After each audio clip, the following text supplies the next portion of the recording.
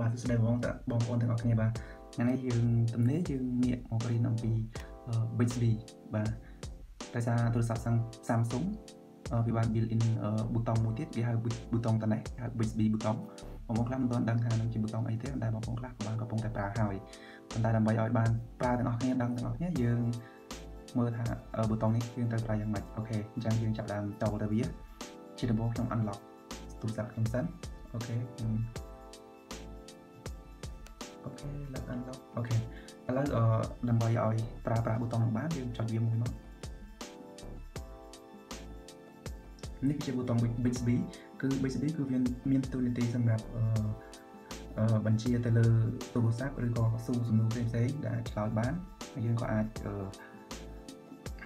ប្រើ voice command របស់យើងដើម្បី command លើទូរស័ព្ទអញ្ចឹងវាឲ្យយើងជ្រើសរើសភាសាអញ្ចឹងភាសាយើងជ្រើសរើសយកភាសាអង់គ្លេសអូខេ confirm អញ្ចឹងដើម្បី activate Bixby បានយើងត្រូវ agree ជាមួយនឹង term condition របស់គាត់សិនណាអញ្ចឹងយើងដាក់ agree ទៅគឺ I have it and agree ទាំងអស់នោះមកអូខេបន្ទាប់មកអឺយើង scroll ទៅឡើងដើម្បីបញ្ចេញ next យើងចុច next ប៊ូតុងមកអញ្ចឹងវាមានការណែនាំបន្តិចបន្តួចនៅលើទៅលើ page មួយមួយអញ្ចឹងយើងព្យាយាមចុច next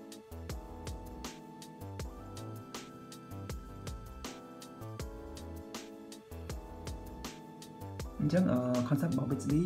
វាមិនតម្រូវឲ្យយើងរើសជាភាសា pronunciation របស់ភាសា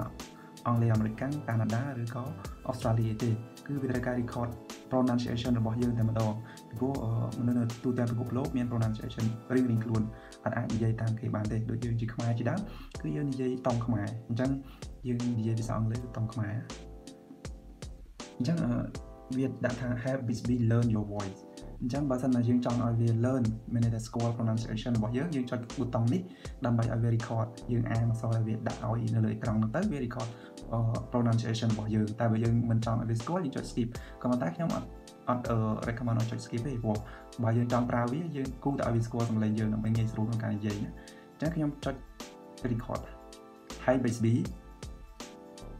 Hi Bixby Hi Bixby Hi Bixby Open messages Hi Bixby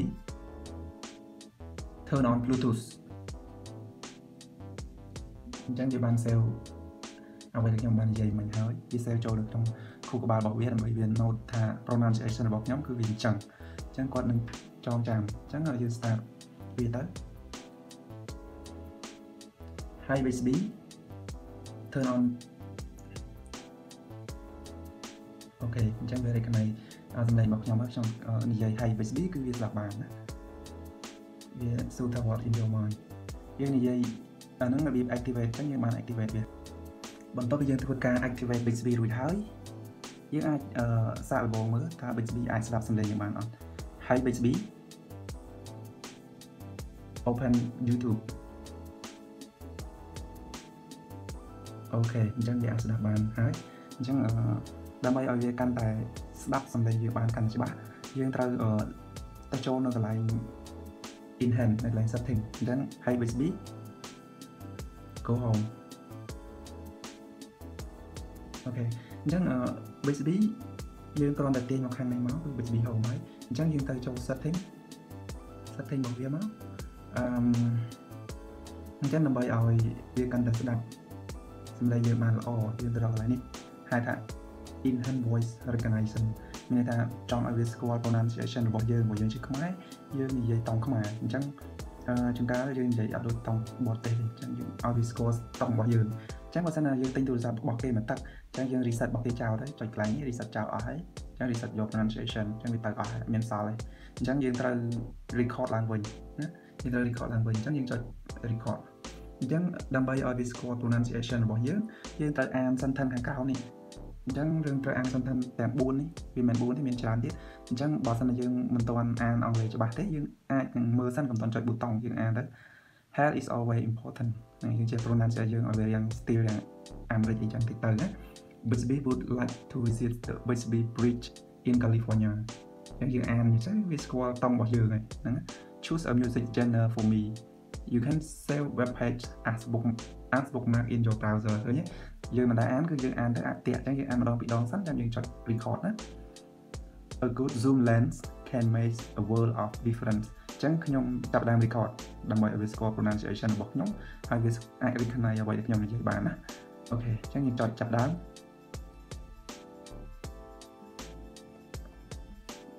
Health is always important.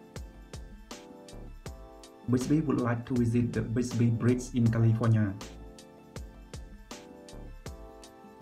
Choose a music genre for me. You can save web page as bookmark in your browser. A good zoom lens can make a world of difference. អញ្ចឹងខ្ញុំអានហើយឥឡូវវា record សំឡេងរបស់ខ្ញុំហើយអញ្ចឹងវាថាបាន record រួចរាល់ហើយអញ្ចឹង tab Bixby button វាថា more recognize you make or more accurate Bixby will understand you អូខេមានន័យថាយើង record កាន់តែច្រើន Bixby កាន់តែស្គាល់សំឡេងយើងកាន់តែច្រើនណាអញ្ចឹងខ្ញុំចុច Bixby button ថាវាឲ្យធ្វើអីទៀត He plays the most recent video in Galaxy sorry ខុសបាត់តែមកយើងអានខុសចឹងវាឲ្យ record ម្ដងទៀតខុសអូខេអញ្ចឹងខុសយើងអាច record again ណា try again You can uninstall app by pressing and holding them. You can filter even by little in calendar. He opened year view in calendar to plan his vacation days. You can change the homepage setting in internet. អញ្ចឹងបើសិនជាយើង record ហើយយើងគិតថាមិនសូវល្អយើងទៅសារដើមវិញក៏បានដែរមានន័យថាយើង reset ទាំងអស់ឡើងវិញយើងធ្វើសារដើមណា អត់អីទេប៉ុន្តែនេះខ្ញុំអត់ធ្វើសារដើមខ្ញុំយកហើយថ្ងៃក្រោយចាំធ្វើទៀតក៏បានណាអូខេអញ្ចឹងកន្លែងនេះដែលខ្ញុំនិយាយមិញគឺយើងអាច reset វាយើងអាចចុច reset pronunciation ហ្នឹងហើយ record ម្ដងទៀតអញ្ចឹងវានឹងឲ្យពាក្យដដែលហ្នឹងឲ្យយើងអានអញ្ចឹងយើងអានហើយវានឹងស្គាល់សំឡេងយើងកាន់ច្បាស់អូខេអញ្ចឹងឥឡូវខ្ញុំទៅ home ខ្ញុំអាចសាកល្បងម្ដងទៀតតើវាស្គាល់សំឡេងខ្ញុំទេ Hi baby Who is the Prime Minister in Cambodia? Okay ហ៊ុនសែនឃើញអញ្ចឹងអឺ basically ស្គាល់នាយករដ្ឋមន្ត្រីរបស់យើងដែរឃើញអត់អូខេអញ្ចឹងមានន័យថាសម្លេងខ្ញុំគាត់អាច recommend recognize បានល្អហើយអញ្ចឹងខ្ញុំនឹងប្រាប់បន្ថែមទៀតទៅលើ Bixby អញ្ចឹងបងប្អូនទៅ Bixby ទាញមកខាងនេះមកឬក៏យើងមិនមិនចុចចឹងយើងនិយាយក៏បានដែរឬក៏យើងចុចលើប៊ូតុង Bixby ក៏បានដែរណាចុចអញ្ចឹងចាញ់ដូចគ្នាឃើញទេចុចនេះបាត់វិញអូខេឬបើយើងនិយាយភាសាអង់គ្លេស Hi Bixby Hi Bixby Open Bixby setting អញ្ចឹងសម្បីតែអង់គ្លេសខ្ញុំអត់សូវច្បាស់ក៏វាស្ដាប់បានវាអាចបើកឲ្យខ្ញុំបានដែរណាអញ្ចឹងអឺអឺបើសិនជាបងប្អូនចង់ស្ដាប់សំឡេងវាឆ្លើយតបបងប្អូនចូលកន្លែង Bixby setting ហើយបងប្អូនយក voice feedback មកអូខេ on language style យើងអាចជ្រើសរើសឈ្មោះអ្នកណាម្នាក់ជាអ្នកនិយាយ Hi Bixby Open Q&A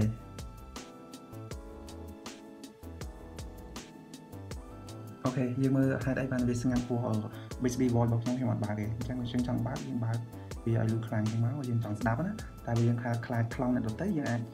ថាវាហើយយើងទាញចូលក្រោមឬតិចឬខ្លាំងយើងលើនឹងនេះអញ្ចឹងខ្ញុំដាក់ឲ្យខ្លាំងដើម្បីបងប្អូនបានឃើញណាឥឡូវយើងបើក Q&A មានន័យថាកន្លែងសួរសំណួរយើងសួរអី ក៏បានដែរវាឆ្លើយរួចឲ្យតែយើងនិយាយច្បាស់គឺឆ្លើយរួចទាំងអស់ណា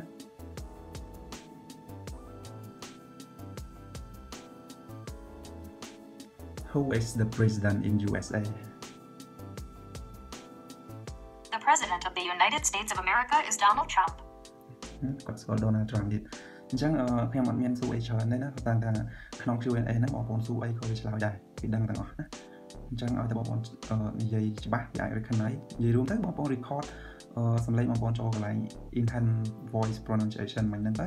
គឺយើងនិយាយអត់ច្បាស់មុំមុំគឺវាស្ដាប់បានហើយអត់អីទេអញ្ចឹងខ្ញុំទៅ Bixby Home ម្ដងទៀតខ្ញុំអញ្ចឹងនៅខាងលើកន្លែងនេះគឺមាន tutorial គឺវាបង្រៀនអំពីការប្រើប្រាស់ Bixby មាន setting មាន voice app and service អញ្ចឹង voice app and service ហ្នឹង គឺចង់ប្រាប់ថាតើ Bixby អាចធ្វើអីខ្លះបានណាវាអាចបញ្ជាទៅលើ gallery contact phone setting message camera Bixby vision តែស្អីច្រើន reminder អញ្ចឹងទៅដូចជាយើងឲ្យ wake up មកមកអញ្ចឹងគឺគាត់នឹងនិយាយទៅបើហៅអីអញ្ចឹង open Facebook voice comment អញ្ចឹងទៅណា screen navigation ពេលបើយើងអត់តង់ចុចវាយើងប្រើវាឲ្យធ្វើការឲ្យយើងនិយាយនឹងពាក្យសម្ដីណាអូខេអញ្ចឹងនេះគឺ voice and app អញ្ចឹងមួយទៀតអឺ មួយទៀត dictation បងប្អូនកុំភ្លេចនេះ dictation keyboard កន្លែងនេះកុំភ្លេចបើកវា read lot high quality ហ្នឹងគឺយើងបើកវាឡើងឲ្យវាអានបើសិនណាយើងស៊ូសំណួរខ្លះទៅវាចេញជាអក្សរវាអានមកយើងតែម្ដងណាអូខេអញ្ចឹងអឺ dictation ហ្នឹងខ្ញុំចង់ប្រាប់ dictation តើវាជាអ្វី dictation ហ្នឹងគឺជាការអញ្ចឹងខ្ញុំនិយាយពីការសរសេរ message ចឹងបងប្អូនអូខេដល់តទៅ អញ្ចឹងខ្ញុំនិយាយពីការសរសេរ message ទៀតអញ្ចឹងឧទាហរណ៍ថាសរសេរសារសារនៅកន្លែងណាក៏បានដែរថាលើ Facebook Messenger Line message ធម្មតាក៏បានអូខេខ្ញុំឲ្យតែមានកន្លែងសរសេរខ្ញុំឧទាហរណ៍ឲ្យមើលអញ្ចឹងយើង tap នៅកន្លែងសរសេររួចហើយនៅក្នុងនេះមាន voice button មួយបងប្អូនអាច tap លើវានិយាយក៏បានឬក៏បងប្អូនចុចលើ Bixby button តែម្ដងក៏បានដែរអញ្ចឹងបើចុចលើ Bixby button គឺហៅលើជាប់ហើយយើងនិយាយទៅអញ្ចឹង make sure ថាយើងមានអ៊ីនធឺណិតដែរមិនមែនអត់មិន offline ទេគឺ online អញ្ចឹងអ៊ីនធឺណិតយើងអាចនិយាយទៅជាភាសាអង់គ្លេស Tomorrow we plan to go somewhere with our family នេះឃើញយើងនិយាយហើយវាក៏ស្អីហើយដែរអញ្ចឹង Bixby វាបាន build in ដើម្បីផ្ដល់ភាពងាយស្រួលដល់យើងយ៉ាងលឿនប៉ុន្តែ complex ថាយើងនិយាយឲ្យត្រូវឲ្យច្បាស់បើយើងនិយាយអត់ច្បាស់វាសេខុសដែរណាវាមិន100%ត្រឹមត្រូវទេប៉ុន្តែអាស្រ័យលើយើងបាន record pronunciation របស់យើងអូខេអញ្ចឹងនេះនិយាយអំពីការសរសេរសារ អញ្ចឹង Bixby button គឺយើងត្រូវបានបញ្ចប់នៅពេលនេះតែវីដេអូក្រោយទៀតយើងនឹងបង្ហាញនៃការលក្ខណៈប្រើប្រាស់ផ្សេងៗទៀតដែលមានសារៈសំខាន់ដែលយើងមិនទាន់ដឹងពីវាអញ្ចឹងសូមអរគុណច្រើនសម្រាប់ការទស្សនាហើយនឹងសូមចុច Subscribe សូមអរគុណ